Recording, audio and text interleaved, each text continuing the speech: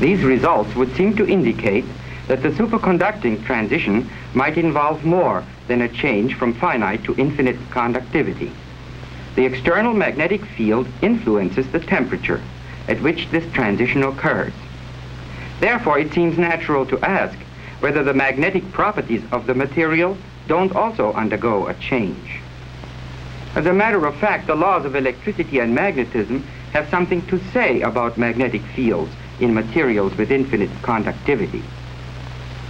Let me explain it the following way.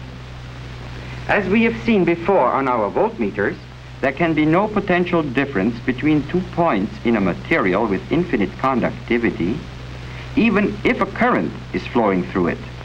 So, the potential has the same value at all points. This means that the electric field intensity is zero. It also means that no electromotive forces whatever can exist in the material. In particular, consider the induced electromotive force which would exist around circuits whenever the magnetic flux is changing with the time, as we know from Faraday's law of electromagnetic induction. But in our material, no such EMFs may exist. Therefore, the magnetic flux cannot change with time in the material. To put it succinctly, the magnetic flux density cannot change with time in a material of infinite conductivity. Any magnetic flux which resides in it while it has infinite conductivity is frozen to it as long as it has infinite conductivity. We now wish to find out by experiment what actually does happen to magnetic flux during the transition from the normal to the superconducting state. For this purpose, we'll put a tin cylinder into the liquid helium with its axis at right angles to the field of the electromagnet. In its median plane, we position an array of many small compass needles.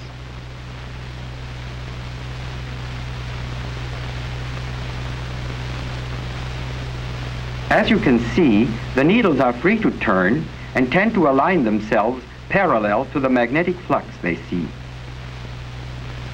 Our device is in the dewar. The tin sample is normal and the flux density is 80 Gauss. The needles are oriented parallel to the magnetic field.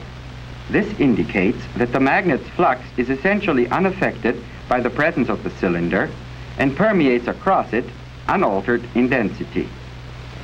As a matter of fact, the permeability of the superconducting materials in their normal states differs very little from unity. The failure of some needles to point horizontally is not due to the magnetic properties of the cylinder, but to their own small magnetic fluxes and mutual interactions. Our next step is to cool the tin cylinder into the superconducting state while holding the magnetic field constant. It so happens that this transition takes a considerable length of time with the experimental setup we have here. For our large cylinder in a field of 80 Gauss, a good deal of heat must be carried off before the transition is complete. Now, we do this by pumping off helium vapor, and the heat of vaporization of helium is quite small. In fact, the transition proceeds so slowly that we are showing it to you at six times normal speed. Notice that the compass needles are turning. The directions they are taking on show that the magnetic flux is coming out of the cylinder. We are witnessing here an effect of fundamental importance in superconductivity. Magnetic flux is ejected during the transition to the superconducting state. It's called the Meissner effect and occurs in all superconductors. There is one special group of superconductors which under ideal conditions eject all the flux during this transition. Tin and most of the other metallic elements exhibiting superconductivity belong to this group. They are called type 1 superconductors. The effect is then called the complete Meissner effect. It should be emphasized that this demonstration does not in itself prove that the magnetic flux is completely excluded from the cylinder. It could be partially excluded and show roughly the same exterior flux configuration. In tin, And in all other type 1 superconductors, the flux density B is identically zero under ideal conditions. This could not be predicted from the knowledge that the material has infinite conductivity, or that, to say it another way, the electric field is zero in the material.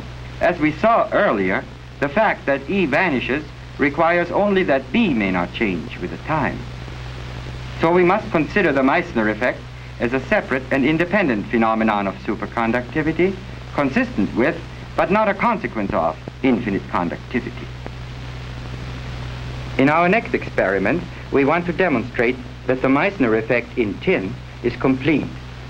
We've wound some insulated copper wire into a coil of several hundred turns directly on a piece of tin. The coil senses changes of magnetic flux in the cylinder.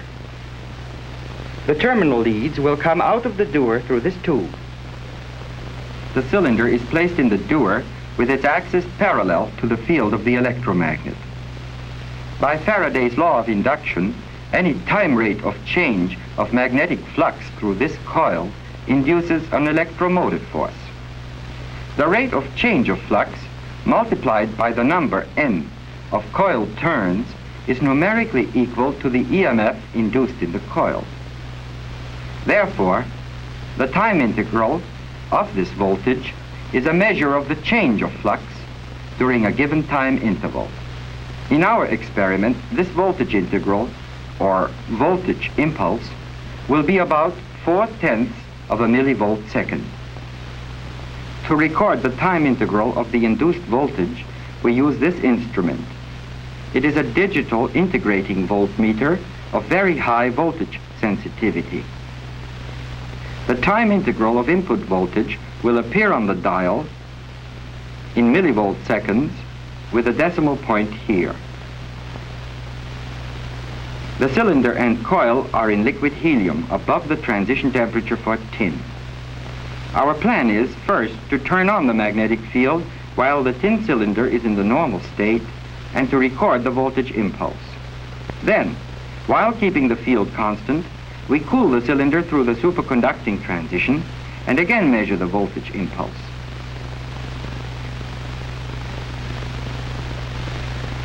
We are slowly turning on the magnetic field up to a flux density of 40 Gauss.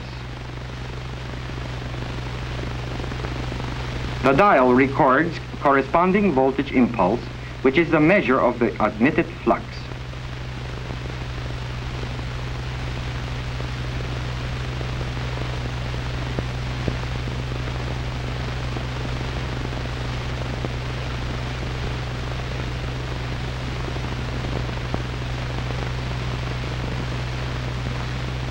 Its final value is plus 0.401 millivolt second.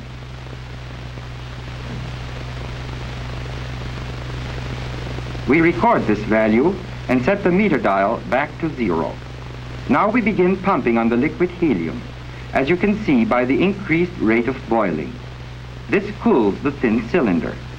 During all this time, the current in the coils of the electromagnet is being held constant. A negative voltage impulse is piling up, indicating the onset of the superconducting transition.